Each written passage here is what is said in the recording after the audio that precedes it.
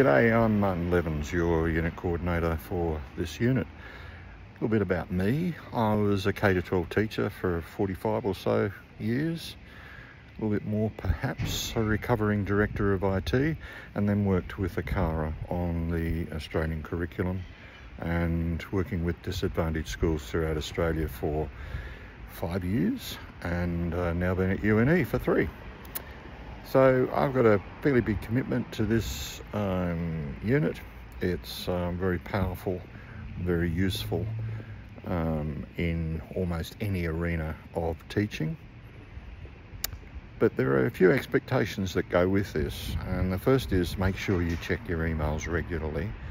And the best way of doing that is to set up an account in uh, Mail or or Outlook or anything so that the computer tells you when you've got new mail. You don't have to go to a website and see whether you've got it because you'll forget to do that. Um, the second thing is that whilst the tuition will run for eight weeks, as you'll see when you have a look at the suggested study plan, the, um, the time that you take is really up to you, uh, aside from making sure that you put your assessments in on time. There's lots of information about that on the website.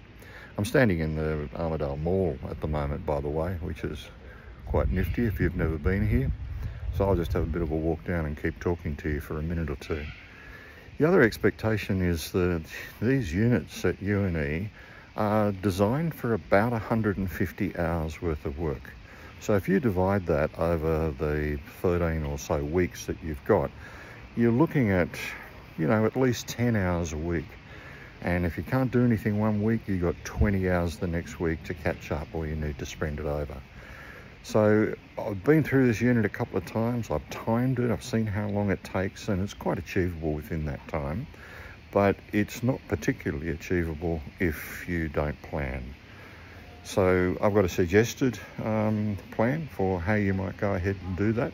It's based over eight weeks, but you can spread it over further if you wish and uh, I look forward to seeing you. Read some other stuff which is on the web, very important, particularly to do with assessment timings and a suggested study timetable. I look forward to meeting you. Bye.